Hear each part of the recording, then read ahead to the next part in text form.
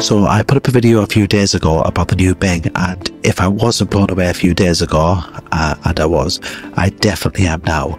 So I've been using the new Bing for a while and I have found out that it's not just an amazing tool for searching the internet, it is a game changing tool for blogging. So before I start going through the incredible workflow I've managed to get working today, I'm going to ask that you like and subscribe to the video. If you have any questions, leave a quick comment down below and I'd be more than happy to help you. But I've put a post today, and this post is here. It is seven steps to behavioral economics and marketing. And that blog post is something I have put together using ChatGPT and Bing. There is not one bit of manual typing in this article. It is entirely what I got from those two services. Now, I have also put together some great tools for people who want to use AI. If you want to use those tools, there's a link down in the description. And if you have Frase, get on it straight away. If you don't have Frase, well, there's also a link there. So what I've done is I have used Bing to be able to get the information, which has then allowed me to write the blog post.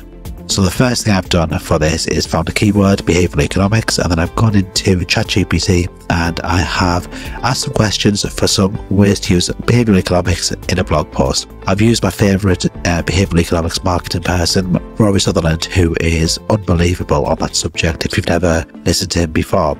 He's come up with some ideas, and as you can see here, I've chose my favourite one, which is about stories. I've then come to Bing. Now, if you have a look on here, what I've done is I have asked a question about some examples.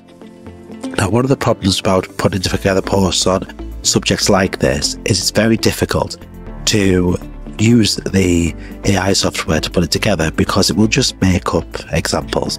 So what I've done here is I've asked a question about some examples about successful storytelling. So the examples are real and that will help guide the post to be not just another AI post, but a real valuable post. It's then given me, as you can see here, five different examples, and those have been pulled from these four websites on here. So what that's allowed me to do is very quickly get five examples that I can use throughout this blog post. I've then asked another question about a bit of information on science, which is it is information I'd use, so I didn't use these in the final blog post. But these five stories here, they're in there.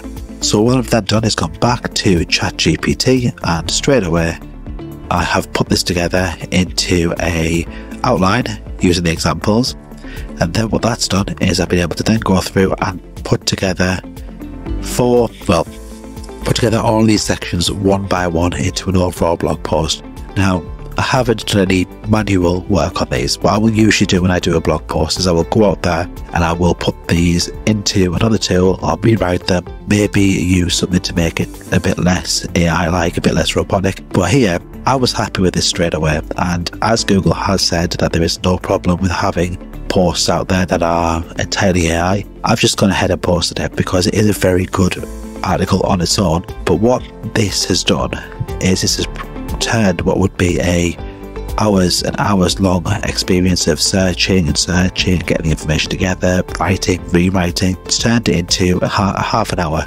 of pulling together 30 minutes from start to finish. So think how in your workflow. If you're out there putting together blog posts on subjects you don't really understand or you don't have the time to research, Bing will speed that up for you.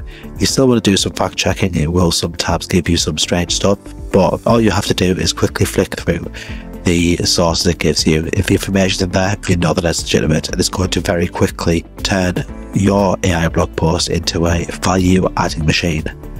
So, this is just a quick video to go through how you can now use, if you've got access to Bing, this tool to really supercharge your blog writing. Uh, like I said, like and subscribe because there'll be so many more videos like this coming up teaching you how to use AI to really supercharge your blogs.